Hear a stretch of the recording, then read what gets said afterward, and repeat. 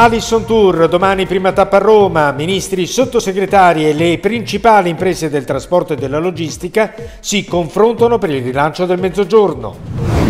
Il ministro Giovannini in conferenza stampa risponde ad Alice Channel sulle politiche di incentivi.